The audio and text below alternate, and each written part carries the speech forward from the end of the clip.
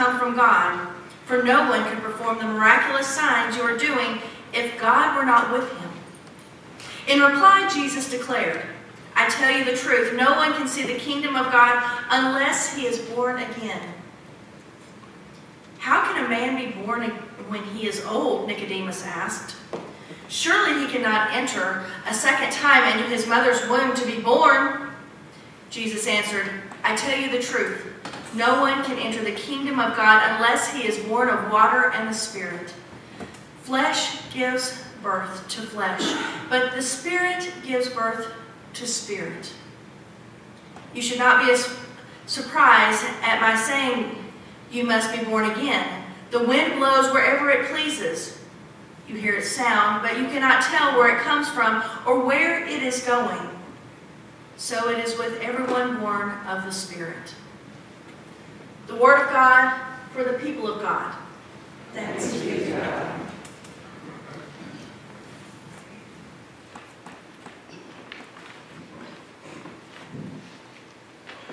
we pray with and for me?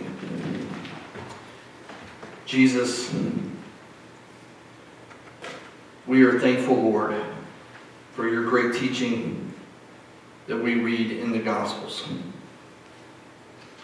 Father, help us to truly seek your face in all things.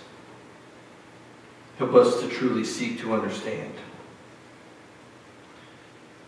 Father, we give thanks for the Holy Scriptures. Bless us now as we look at them together. In Jesus' name, amen. We are getting to that time of year when maybe not all, matter of fact, I know not all, but uh, several of us, uh, we begin a certain specific ritual and each person who does this does it a little bit differently, and that's okay. And um, I'm talking, of course, about cleaning your car. Y'all thought I was going to talk about March Madness or something. That's coming later. It's all right. Yeah, here, here's the thing. When, you go and clean your car, or maybe you buy a brand new car, you're, you're driving it down the interstate, and then you hear it. You go, pink, and it's a little pebble that gets spun up by a car in front of you, and you hear it hit the hood of your car, and you know that left a mark. And sure enough, you have a rock chip in the paint. And if you drive a black vehicle like I do, uh, believe me, everybody can see it for a mile around. But that's what happens. When one particular item impacts another, it can leave a mark. And the same is the case for God in our lives. However, it's a positive mark. If we have experienced the Lord, then He should have some impact upon our lives. And if the Lord has impacted our lives, He's going to leave a mark. In fact, John Wesley spoke about the marks of the new birth. We, we hear the scriptures read about Jesus telling Nicodemus, hey, you've got to be born again. And, and we grasp the concept, but what does that actually look like? What, what does it mean to be born again? If we say that we have experienced God as Lord and Savior in our lives, there should be a noticeable difference in us. We ourselves and others around us should be able to see that something is uniquely divine in each and every one of us if we have been impacted by God. John Wesley held that there were three distinctive marks, three distinctive characteristics that each person who proclaims to be a Christ follower should have active within them. And the first one is faith. We talked about faith last week, saving faith. Namely, that this saving faith is, is not the faith of the heathen. You remember that the heathen believes, oh, there is a God, and yes, we should seek him, and God rewards those who do his will, and that the faith of the heathen also believes, hey, you know what, we should be good, moral, virtuous people, and we should act according to the truth. That's the faith of the heathen, and that doesn't cut it for saving, salvation. Then there's the faith of the devil. Well, the devil believes Jesus is real. The devil knows who Jesus is. But the devil is not saved. Why? Because he does not place his trust in, in Jesus. And even the faith of the apostles while Jesus was on earth. Why was their faith inadequate even though they left their homes and they left everything behind? It's because they did not yet realize the necessity of the death and resurrection of Jesus. John Wesley held that the notion of faith, real biblical faith, is not just some intellectual assertion that, oh yes, I believe the gospel is true. It's not just understanding the Bible or theology. It's not a dead faith as he called it. It is a disposition of the heart. Wesley put it this way faith is a disposition of the heart which God has wrought in his heart, his being the believer's heart. A sure trust and confidence in God that through the merits of Christ, his sins are forgiven, forgiven and that he is reconciled to the favor of God. We, we are people who have been saved from the consequences of our sin. And we've been saved by the blood of Christ. We're not saved because we're good people. We can't be good enough for that. We are not saved because we care about each other and we smile at each other a lot. We are saved through faith by the blood of Christ. Wesley said that when it comes to faith, there are two specific uh, fruits that come from that. If we have true faith in God, we have been given also power over sin. That's the first one. In other words, you don't have to go on living in it. And in fact, we are commanded not to. Romans chapter 6, Paul says, Shall we sin then? Shall we go on sinning so that grace may increase? By no means. We are those who have died to sin. How can we live in it any longer? Or don't you know that all of us who were baptized into Christ Jesus were baptized into his, his death? We were therefore buried with him through baptism. And he goes on. Said, For if we've been united with him in a death like his, we will certainly be united with him in a resurrection like his. For we know that our old self was crucified with him, so that the body ruled by sin might be done away with. That we should no longer be slaves to sin because anyone who has died has been set free from sin. Simply put, sin should no longer control us. Especially that which we know God has said, hey, don't do this. We have the power of the Holy Spirit within us to resist. Too often the problem is we don't want to resist.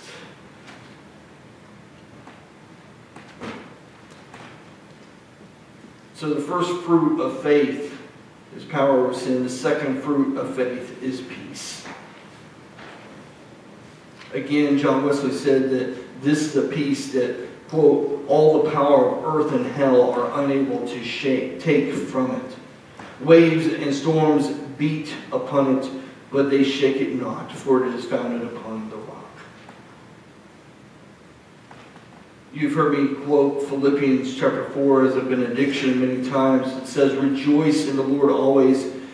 I will say it again, rejoice, let your gentleness be evident to all. The Lord is near. Do not be anxious about anything, but in every situation, by prayer and petition, with thanksgiving, present your request to God in the peace of God, which transcends all understanding, will guard your hearts and your minds in Christ Jesus. Let me ask, what, how would you rate the level of peace in the soul that you have today? Where's your peace level? If we have faith in Christ, then we have the peace of Christ.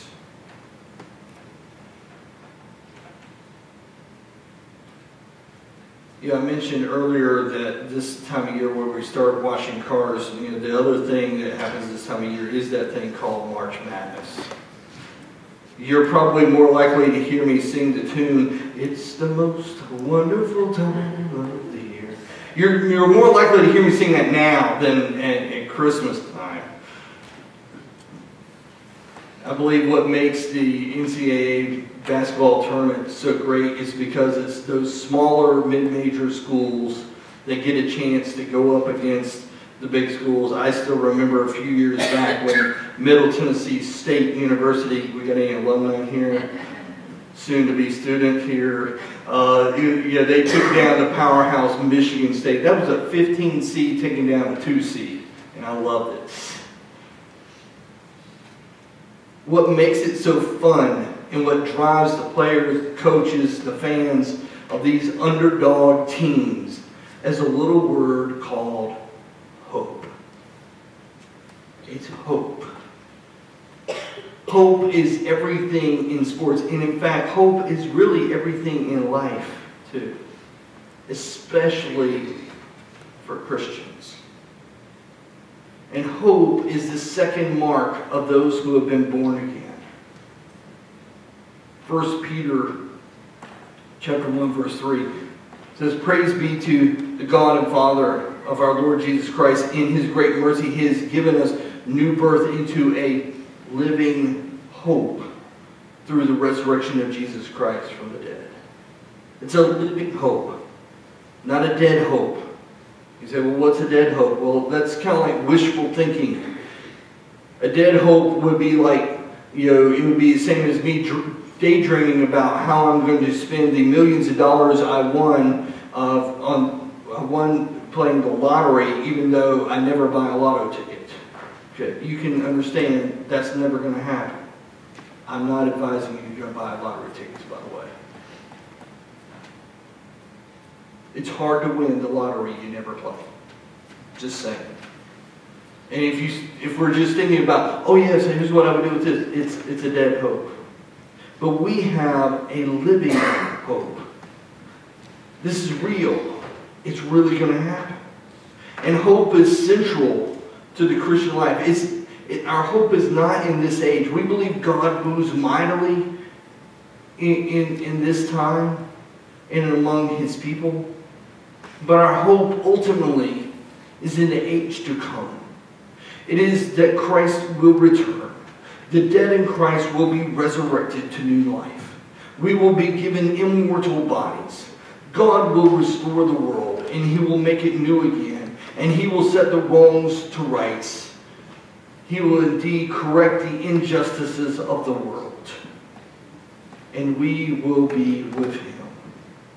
Revelation chapter 21 says, Then I saw a new heaven and a new earth, for the first heaven and the first earth had passed away, and there was no longer any sea. I saw the holy city, the new Jerusalem, coming down out of heaven from God, prepared as a bride, beautifully dressed for her husband. And I heard a loud voice from the throne saying, Look, God's dwelling place is now among the people, and he will dwell with them. They will be his people, and God himself will be with them, and he will be their God. He will wipe away every tear from their eyes. There will be no more death no more mourning or crying or pain, for the old order of things have passed away. He who was seated on the throne said, I am making everything new. Then he said, write, these down, write this down, for these words are trustworthy and true. This is our Christian hope. It gets better when the kingdom comes. The very best of this age doesn't even compare to the worst day that's coming in the new age. God does not abandon his creation. We have the hope that God, yes, is actively moving among us now, but our hope is that he is going to remake the world. Hope. It is central. Do we have hope in the Lord? So the marks of the new birth is faith, it is hope, and then there is one more. I love the story from Moody's Anecdotes.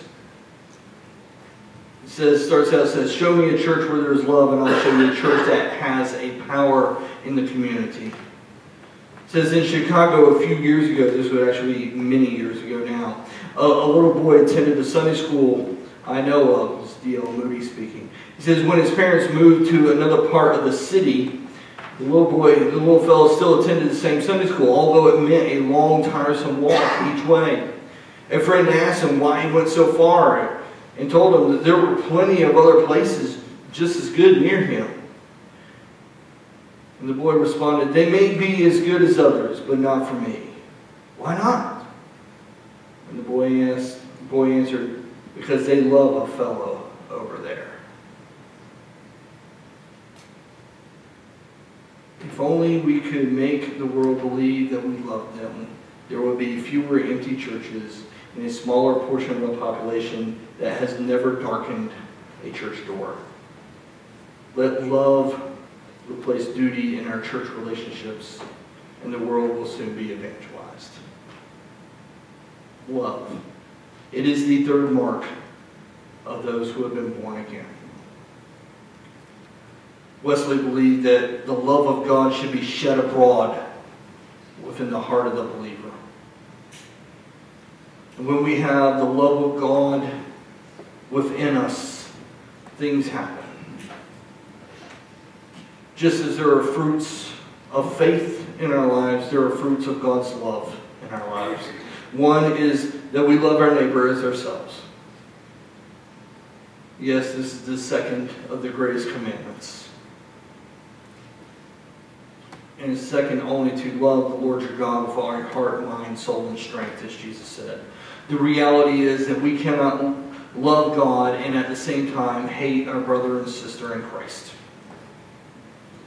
1 John chapter 4, verse 20 says, Whoever claims to love God yet hates a brother or sister is a liar. For whoever does not love their brother or sister for whom they have seen cannot love God whom they have not seen. Hate cannot rule in our lives.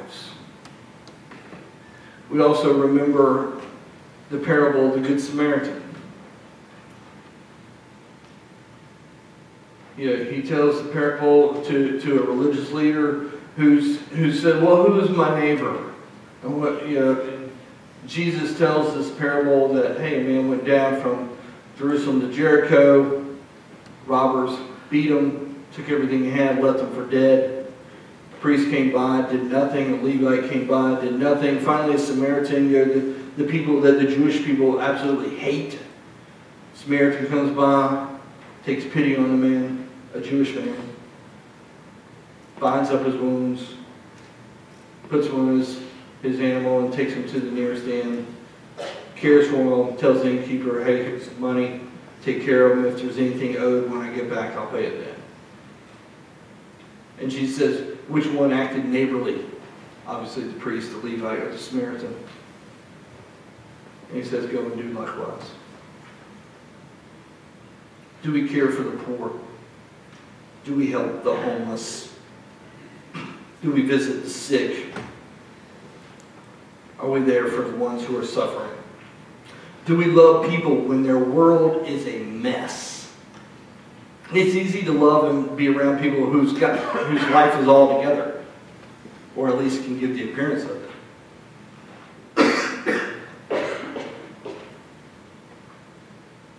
but when people's lives are a mess, it's harder to love people there. When, when they can't make sense of what's up and what's down, it takes a lot more. So the first fruit of love, the love of God being within us, is that we love our neighbors as ourselves. The second fruit of having God's love within us is what John Wesley phrased the universal obedience to God. Peter T. Forsyth said, the first duty of every soul is not to find its freedom, but its master. We are saved, we are, we are not saved we can have freedom to do whatever we want, but we are saved that we may do the will of Christ and be in right relationship with Him. We are bought with a price, the scriptures teach. The precious blood of the Lamb. And the imagery there, when it says bought with a price, the imagery is that we are a slave. We've been a slave to sin, and Jesus buys us by his own death and sacrifice. And, and just because you've been bought as a slave doesn't mean you're free. No, it means you have a new master. Jesus has bought us, paid dearly for us. We, we are, as Paul says, slaves to Christ now. We are to do his bidding. We are to seek to live in obedience to him. So faith, hope, and love. These are the marks of a Christian. We may have rock chips, marks on our cars. We may have marks other places. I remember when I was a kid and I uh, rode my bike and inevitably I crashed and I remember one time I was literally picking gravel out of my knee. Yeah, it leaves a mark. There's a scar there.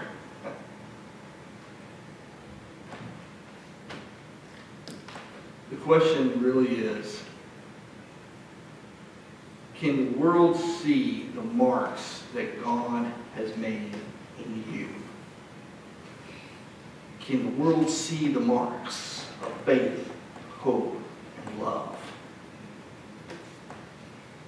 May it be so among the people called Methodists at Lewisburg First United Methodist Church.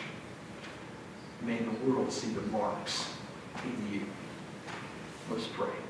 Jesus, we are thankful, Lord, for the grace that you give us.